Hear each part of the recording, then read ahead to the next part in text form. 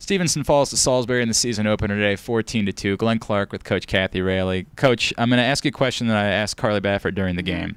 How much of the story today is about what you guys did and didn't do? How much of it is that's a really, really good opponent that you were up against? I'm going to give that a 50-50. And and the reason I'm going to give that a 50-50 is we are way better than what we showed today. So mm-hmm. I'm not sure you know, is it I've got to go back and look is it the warm up? Why weren't we ready? The first couple minutes we looked pretty intense. On the flip side of that, their backer messed with our heads. They were they were faster through the between the 30s. They were very organized in their high pressure backer and even when we were passing to girls that were wide open, we were having turnovers. So it was just one of those snowball events, I think. And one mistake turned into two, turned into three, and then everybody started doubting what the game plan was and not moving off ball, like a little things like that. I don't want to take anything away from Salisbury. I thought they had a great game.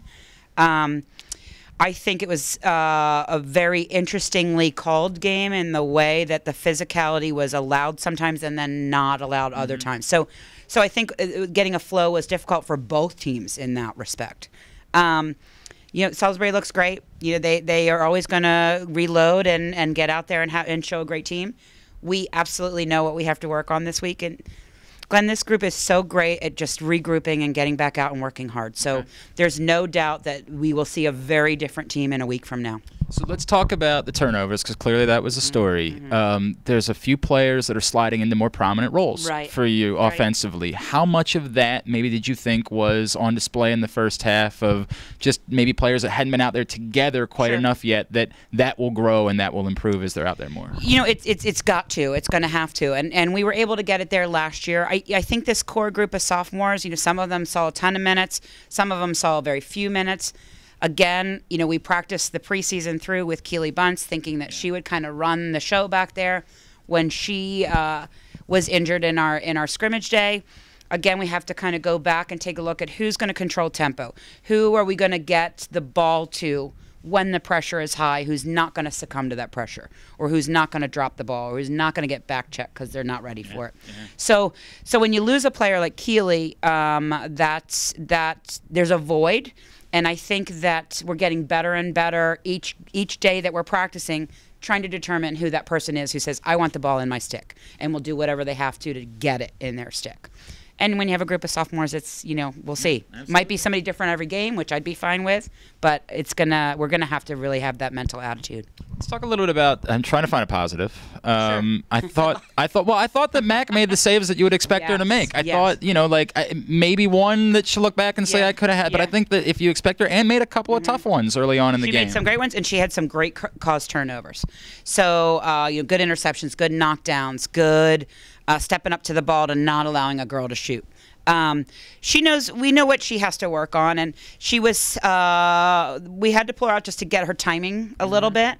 Which is great. It's great when you have a great backup keepers that you can put in there while she is trying to work something out. She went right back in, got her attitude great, went out there, and then made some really big time saves.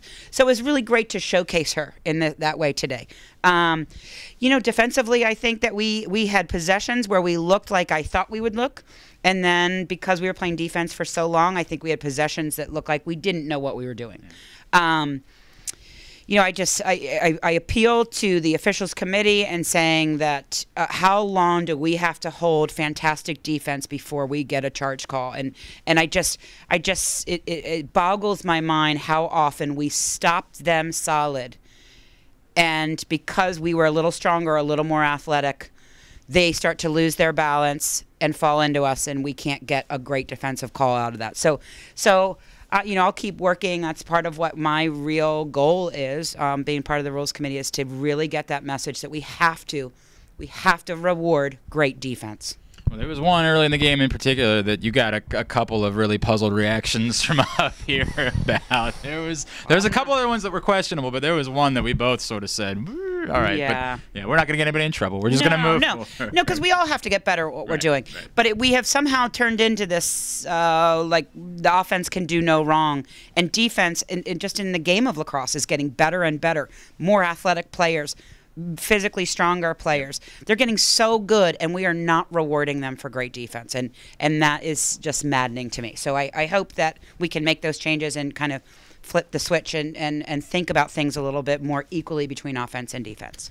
All right, Coach. I know it gets no easier. Uh, best of luck Yes, next you. Saturday at Gettysburg. We'll Thank see you. back here in two weeks. All right. Thank you very much. She's Coach Kathy Railey. I'm Glenn Clark. GoMustangSports.com.